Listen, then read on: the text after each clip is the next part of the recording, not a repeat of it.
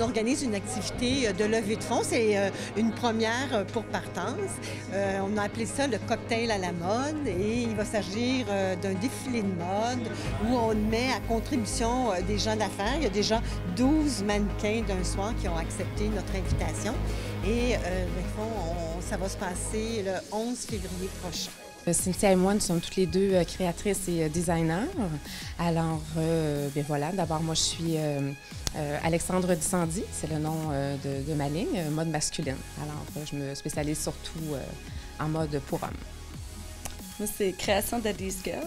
Et puis, j'offre aussi le sur-mesure. Je fais des micro-collections aussi dans les boutiques. Donc, c'est ça. Il y a des bijoux aussi, les accessoires et des costumes de scène.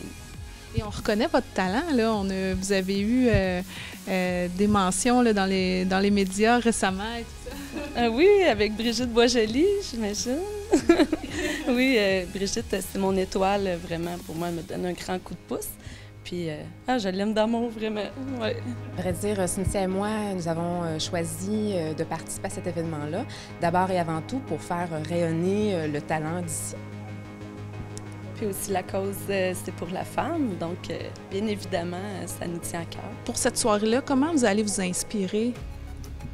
Euh, bien, d'abord et avant tout, on fait participer euh, les gens d'affaires euh, d'ici à Drummondville. Alors, et Cynthia et moi, on, nous a remis une liste de participants et participantes.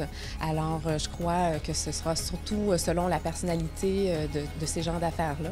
Donc, tout comme Cynthia, je fais aussi beaucoup, beaucoup de sur-mesure. Alors, je crois que ça va être un très bel événement. Vous avez une présidence d'honneur aussi pour l'événement? C'est ça. En fait, on est très fiers de notre présidence d'honneur. Il s'agit de M. André Comnouzi et de Mme Christine Jutras, alors euh, qui ont accepté euh, de nous représenter pour euh, faire la promotion de notre activité. On trouvait que l'activité était originale, le défi était intéressant à relever aussi, et puis il faut être derrière toutes ces femmes-là qui tentent de réintégrer le marché du travail. C'est pas facile.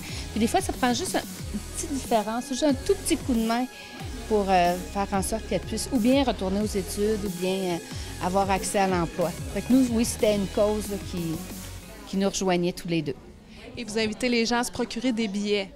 Oui, alors il y a des billets, évidemment, au coût de 70 pour assister à l'événement et il y a des billets aussi au coût de 10 pour participer à un tirage. Et sur place, évidemment, il va y avoir euh, d'autres activités en camp silencieux, euh, différents tirages. Alors, on espère que tout le monde euh, va être bien généreux et va être intéressé également par l'activité.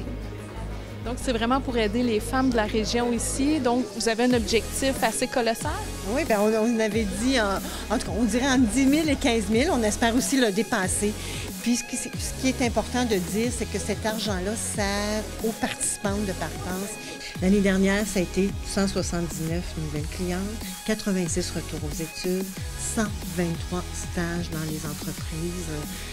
On a de plus en plus une belle collaboration avec les entreprises et on trouve ça, euh, c'est très important pour nous et nos participants. Et il y a 125 obtentions d'emploi l'année dernière. Donc, parfois, il y a des petits miracles qui s'opèrent à partir.